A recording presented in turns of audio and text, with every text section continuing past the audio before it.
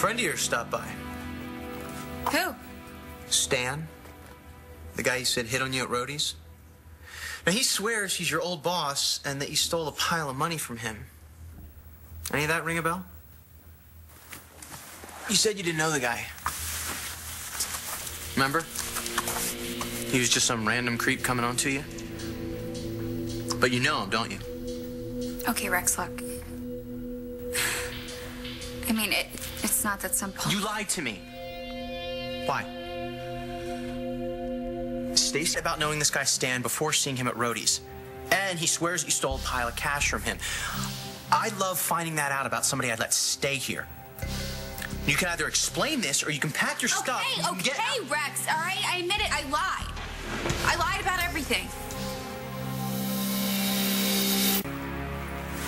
Wait, don't get so freaked out about this. Oh, well, why the hell not? You stole 20 grand from the guy and lied about it. You told me you were broke, which is one of the main reasons I let you stay here. And I totally appreciate it. You have a messed up way of showing it. Some lowlife shows up at my door demanding money or else.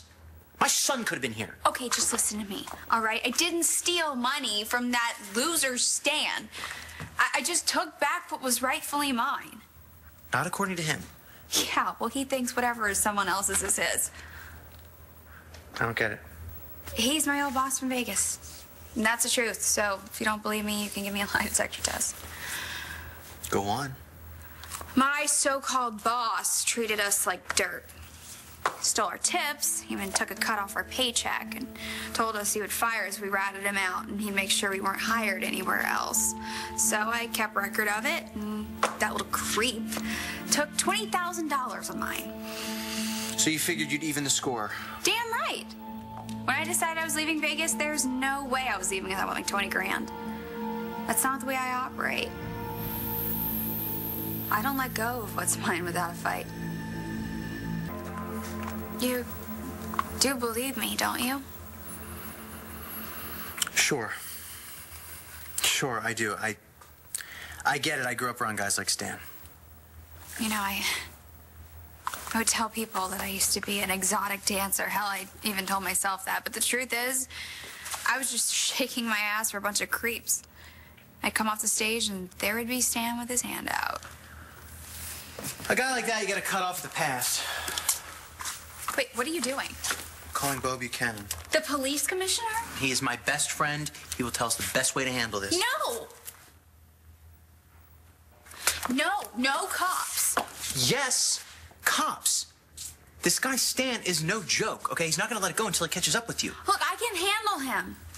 He thinks you ripped him off for 20 grand. He's dangerous. Stacy. Yeah, I know he is, but he's also connected. If you call the cops, he's not only gonna be mad at me, he's gonna be mad at you, and he might even use your mom or Shane Oh, to... oh, oh, oh, oh, all right, all right, all right. I see where you're going. Thank you. So, we give him back the money. I don't have the money. None of it? And just shut up and listen. If you're not down here with my money by the time I'm arraigned, then your little friend Rex is gonna find out you didn't really save his son. Stacy, what happened to the money? It, it was stolen. Somebody ripped off 20 grand from you and you didn't tell me? I, I was afraid you'd get mad and do something crazy.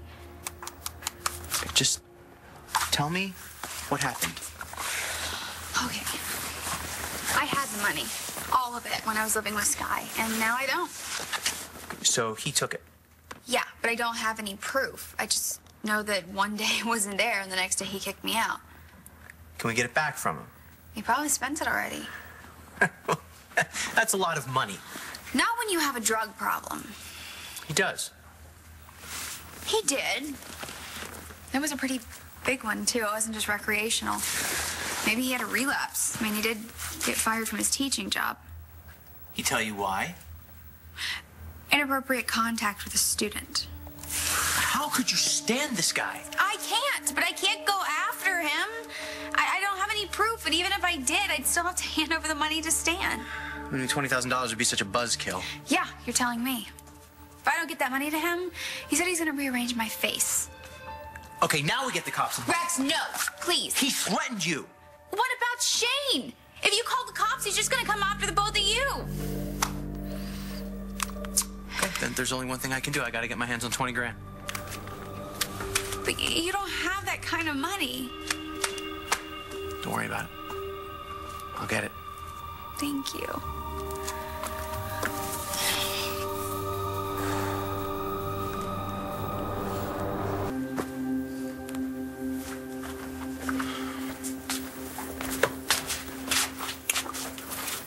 Good night. Good night, Rex. Hey. Thank you.